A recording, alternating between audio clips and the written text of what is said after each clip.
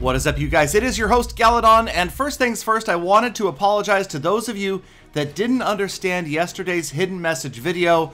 I am going to talk a little bit about it at the end of this video. Also, I have General Tony's response to yesterday's video as well. But for now, it is time to move forward, and today we are talking about getting to 5,000 trophies once again, but I thought maybe we should do it with a slightly different twist on things. I mean, we've gotten there before using whatever is the most efficient strategy or the most effective OP strategy out there, but I keep on talking about how strong offense is right now, so why not, as long as offense is so strong, try something pretty unusual, and that is, well, okay, we had Deka Pekka. If you guys remember, I did, I do sort of give myself credit for inventing Deka Pekka. The Deka Pekka attack, 10 Pekkas.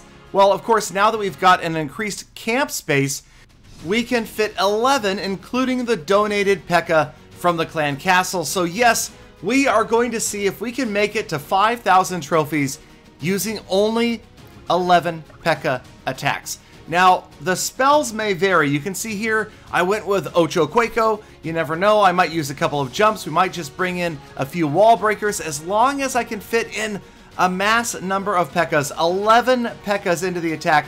Whatever else we bring is bonus. Now, of course, the single target Inferno, just about the Pekka's worst enemy, that and the Teslas.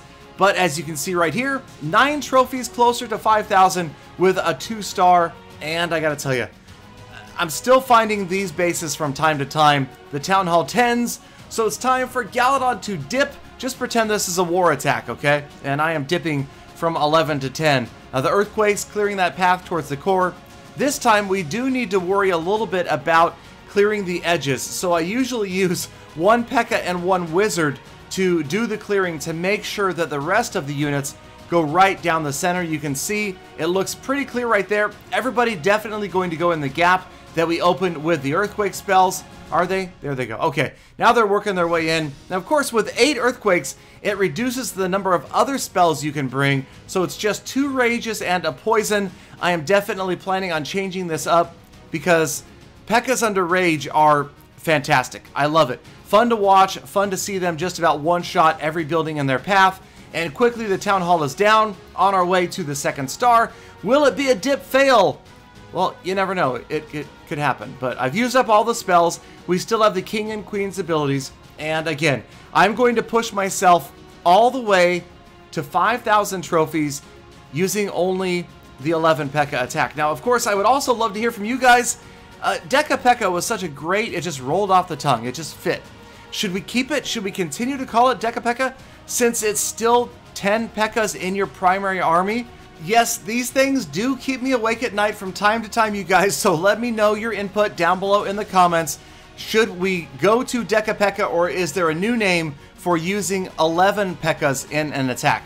So here we're wrapping things up. Does not look like it's going to be a dip fail. As you can see, most of the Pekkas have grouped up together. We've got the uh, Archer Queen and the Warden are still up. And of course, it is going to be a massive three-star victory for the massive Pekkas as they wind their way around this base picking up the final structures. So not a whole lot of suspense right here. But again, we're still only in Titan 2, working my way up and hoping to get to 5,000 trophies near the end of the season because I would love to do something with Klaus in the future. Maybe some sort of collaboration. I would also love to hear from you guys if there's something you think Klaus and I could do that would be an interesting competition. I think along the lines of something like this, attacking with less than the ideal army, using something that's unusual, that's outside the meta or whatever you would say, that would be fun. But again, let me know. Troll bases are always fun as well.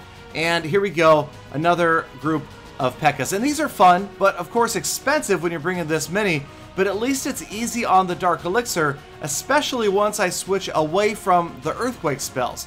Because personally, I am still farming Dark Elixir because my Barbarian King, as you can see here, is not maxed out yet, believe it or not. I've got the level 50 AQ, but the Barb King is still a measly, terrible, weak level 45. I'm, I'm embarrassed to admit it. I really am. Not really.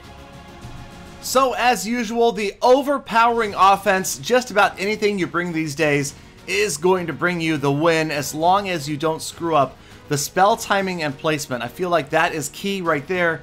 Dropping those spells in the right place at the right time makes a big difference and is going to help almost any army win. So maybe you guys need to come up with an army that you think would be difficult to win with and then force Klaus and I to use it above 5,000 trophies and we'll see how it goes.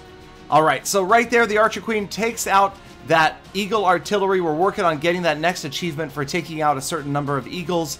So I'm always holding on, even at the end of the battle, if it looks like I'm not going to get much further, just to try to get that much closer to the achievement for those Eagle Artilleries getting taken out. Alright, so we are going to go ahead and move on to a live attack. going to try 11 Pekkas, Deca Pekka plus 1 on a live attack here. So the Clouds, not too bad at Titan 2. It seems like they last somewhere between 20 seconds and 2 minutes. I would anticipate that it's going to get worse, but here we go. Oh man. Now this could be a tough base. Now I've switched over to wall breakers and one jump spell, with the idea being that we could bring five rage spells because rage on Pekkas is just crazy. Now, of course, we don't have any funneling troops, so we're going to try to funnel a little bit with the Pekkas, and then the wall breakers in here are going to go right in front of a bomb tower and not get the wall open. So we throw everybody in, and then with the rage spell, they should work their way through this wall anyway because we've done enough funneling. So sure enough, they're through the wall, and now we can use the jump spell to get us to the core. Hopefully, some units are going to go after the X-Bow. Uh, of course, everybody's going every which way. Eventually, we've got one Pekka. Is that just one? One Pekka Yes, one Pekka headed after the Town Hall, but we've got the Skeleton Trap in the center. We use one Rage on one Pekka, and watch, that we've got the Lava Hound and the Balloon on the Pekka. Pekka can't do a thing. Everybody else has moved off to the left, off to the right, but that Pekka heroically gets through the skeletons and takes down the Town Hall all by herself. She gets the first star, and there's the second star. So, once again, even when things go completely wrong, you guys, the P.E.K.K.A.'s take over, the pure P.E.K.K.A. power is more than enough to punch through that wall and to grab the two-star victory. Now, we did already get the Eagle Artillery down, the Queen dealing with the Lava Hound and the Balloon. We could end things right here, but we're at 64%, and we're so close to the perfect score that I figured that we would stay and wait a little bit longer. Here we go, just a couple more structures need to go down, then we will be able to end this with a very satisfactory percentage of damage. So one or two more structures, Tesla goes down, and now we can end it. There we go. And another victory for the Deca Pekka plus, plus one. Deca Pekka plus one. I don't even know. All right, so we're just about to wrap up this video, but first, I know some people are reeling from yesterday's major episode, so I wanted to talk about some comments on that episode and apologize if you felt it was a waste of seven minutes of your life. Right here, Igor says, Gally, that got me right there. Very coincidental to where I am in life right now. Synchronistic. Thank you, Igor. Igor. Victor says, amazing message. I don't know about the others, but I totally got it. Spread the truth, guys. Thank you, Victor. I appreciate that as well. Dip says, that's called a perfect YouTuber. And Dip is one of the people that really got yesterday's message, I feel. Uh, also, June said, thanks for getting straight to the point, Galadad. Appreciate it. Anytime, June. Happy to help. Next up, Haranton. Amazing comment. Really like this one. Well thought out, well put together. He obviously gets the message, but unfortunately, uh, TLDR. Okay, now the next comments that I noticed were coming up were a lot of what happened with General Tony? What does General Tony think about this video? How is he going to reply? How is he going to respond? And a lot of comments kept popping up like that. And sure enough, you guys, General Tony replied to this as well. So we get to see General Tony's very clear reaction right here as he leaves the comment LOL. What does that stand for? You might not realize, but LOL, very well put together, says General Tony. So thank you, GT. I appreciate that, buddy. And to all of you that hung out towards the end of this episode, thank you very much. I appreciate it. I hope that you guys have a fantastic rest of your day. At the very end of this episode, I'll throw a few more comments on there of my own if you guys really care to stick around. Otherwise, have a great day, be positive, be kind to other people, and in life, as in Clash of Clans, make every attack a full attack.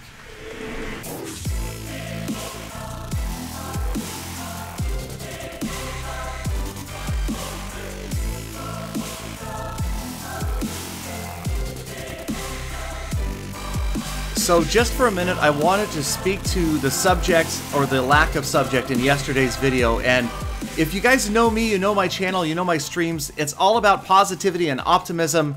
And I personally, I feel like there is enough human suffering, pain, and drama in this world as it is.